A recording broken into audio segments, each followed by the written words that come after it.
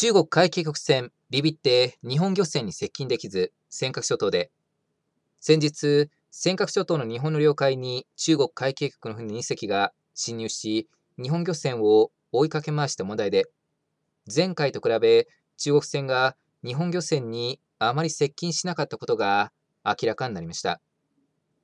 八山日報の取材に対し、漁船に乗船していた仲間仁市議は、船体の映像を撮影されることを警戒したのではないかと説明されておられますが、仲間市議、漁船から撮影した映像を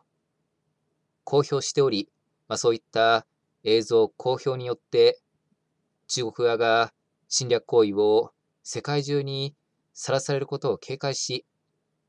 今回はあまり接近しなかった可能性がございます。仲間市議はツイッターにて、このような発言もされておられますけども、ただ中国側はあまり接近しない代わりに、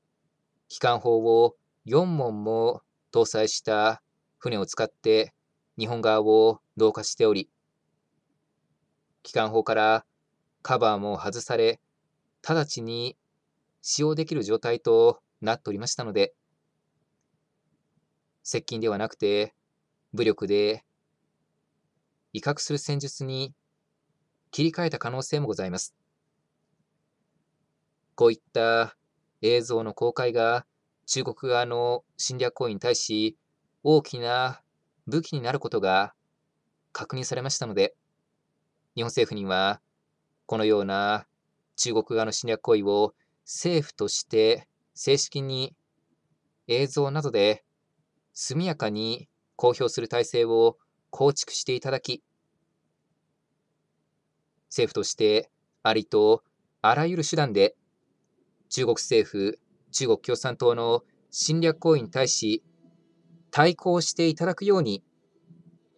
お願いいたします。以上になります。ご清聴いただきありがとうございました。